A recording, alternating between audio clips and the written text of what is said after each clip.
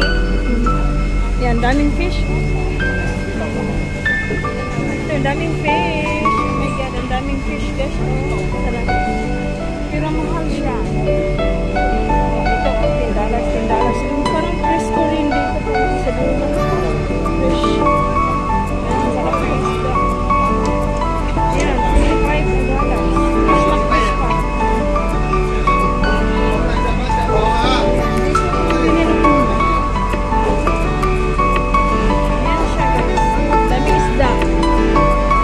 tayo, eh. ikot tayo.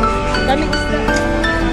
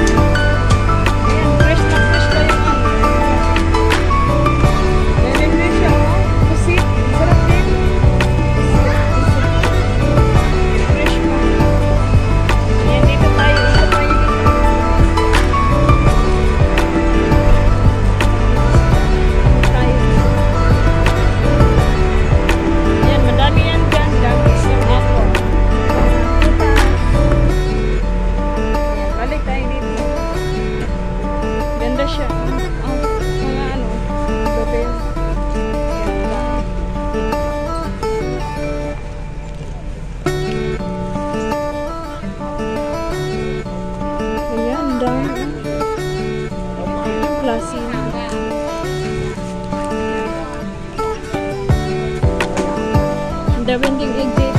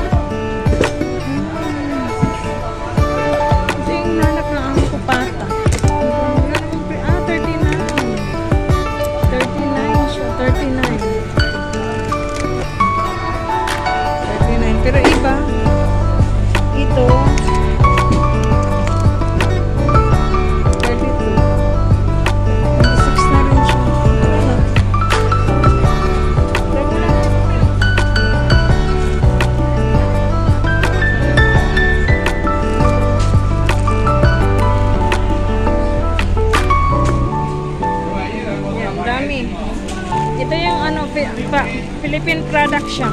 So, pili tayo mabili dito. Ito yung Philippine product. Yung Cebu Balili. Ayan. Pasok tayo dyan sa looog. Okay, bye-bye.